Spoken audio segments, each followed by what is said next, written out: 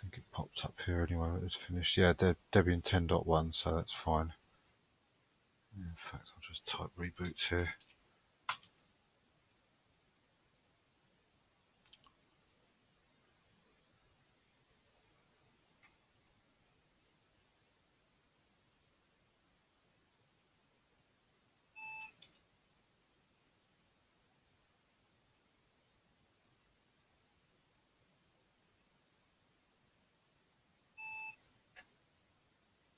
Right, so this is the Debian 10 booted.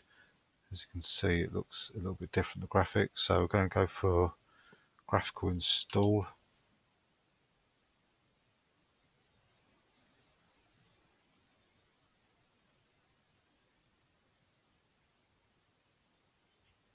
Video to sync. Okay. So to install this, what we're going to do is select the language first. So I want English country, United Kingdom, British English keyboard,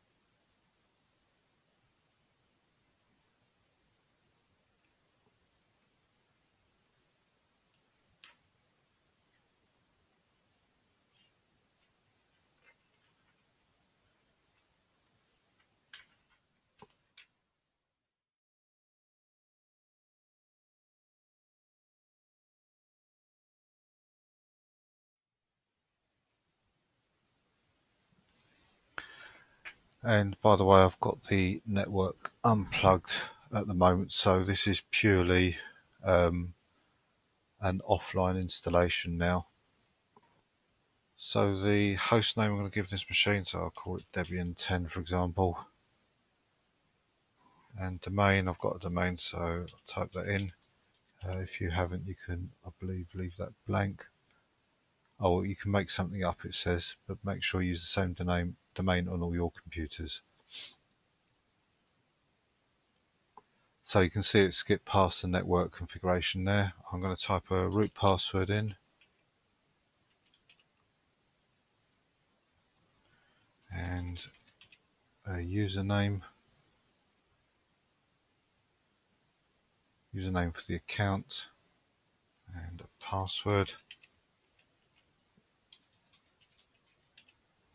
For that account. So it's trying to set up the clock, but obviously there's going to be no network connection.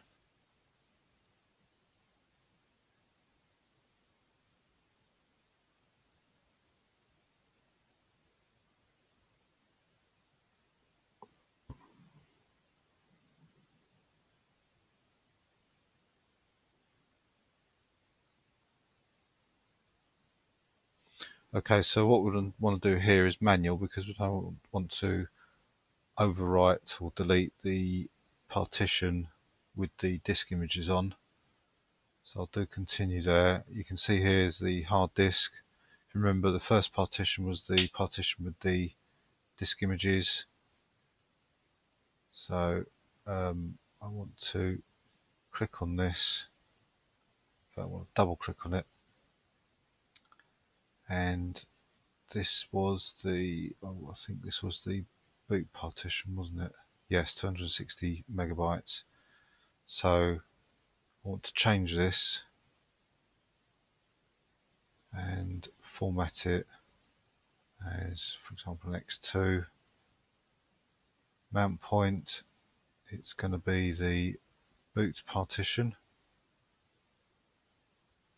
uh, label, I can call it the boot. And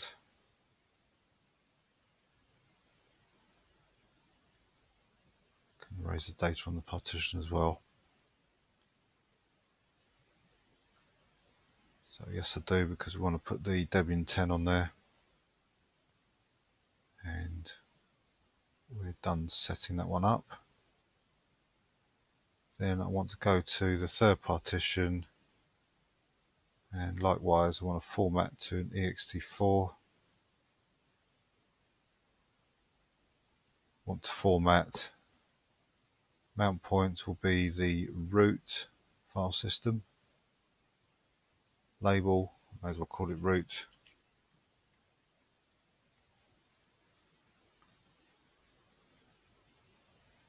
and I can actually erase the data here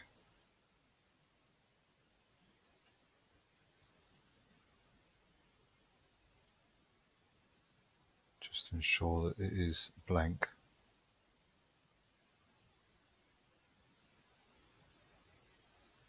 Alright, it looks like it's doing the whole of the partition, so I don't really want that. I'm not sure if I can cancel that. Yes, I can, luckily. So I don't really want to erase it, especially as this is an SSD. Um, just formatting it would be enough. I'll just double check that this is going to be yeah, use as. Yeah, that's fine. And finally, I just want to make sure that this gets mounted. Um, it looks like I can't actually set it. If I do anything here, it will format it. So I don't want to do that. So I'll go back. Um, one thing I haven't done, I just realised I haven't put a swap partition, but there's, well, it's it's personal choice. Swap partition. I know that I wouldn't need it for the use that I've got for this, so um, it's it's not necessarily my situation, but obviously if you feel like you need swap, then don't forget to add that in as well. So I won't save anything there. So that's it really. I'm going to have to do modify the fstab when the system's installed to add in the um, DVD partitions as before. Um, but apart from that, that should be all that's needed. Finish partitioning write changes to the disk. Uh, you've not oh, it's actually warned me that I haven't selected in the swap swap space so uh, no I don't want to because I'm happy that there isn't any and then it's telling me here that it's going to format second and third partition which is good. That's what I want. Do you want to write to these disks yes. Just as long as it's not writing to the first partition. Um, don't really care about anything else.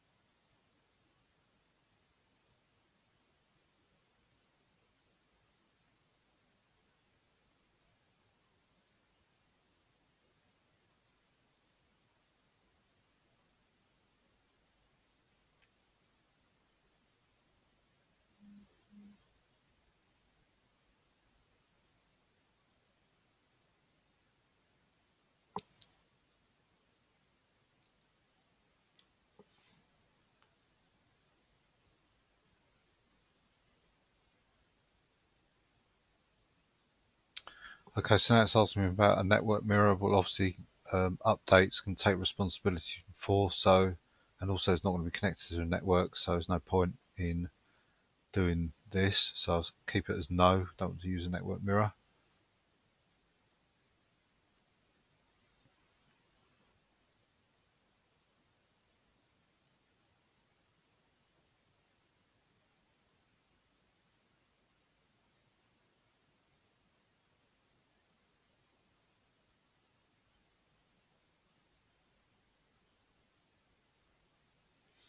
Okay, popularity contest. Uh, I never used to do this. I thought, well, it's a good idea to do it because you might be helping to the stats to um, help decide which packages should go on the first CD or DVD, which can be useful. So I do participate in this now, even though we're not connected to a network. Um, if you are, or you install Debian in the future, then it might be worth doing. So options here, um, you, well, unless you know you want a uh, command line environment, you, you definitely want to leave that ticked. Pick a desktop interface, desktop, desktop environment. I use KDE, so I'll accept that. I don't need a print server and an SSH server can be useful to um, connect to the machine remotely and standard system utilities are, are, worth having as well. So that's probably the minimum you want is those options or maybe not KDE, you know, if you like GNOME then check that instead. But the other three are probably ones that are beneficial to most people. So click continue. And now just wait for the software to be um, retrieved off the USB by the looks of it and installed.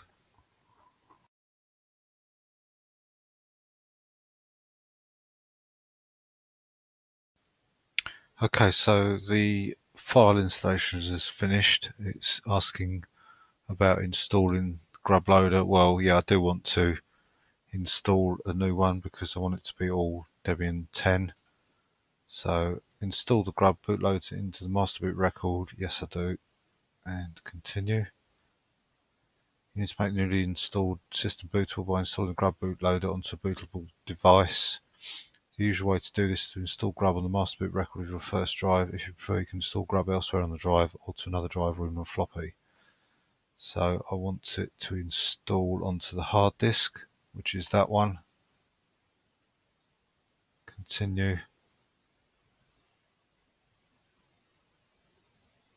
And that's it. So it says make sure to remove the installation from media uh, so that you can boot into your new system rather than restart the installation. So I'll remove it now, click continue and wait for the machine to reboot.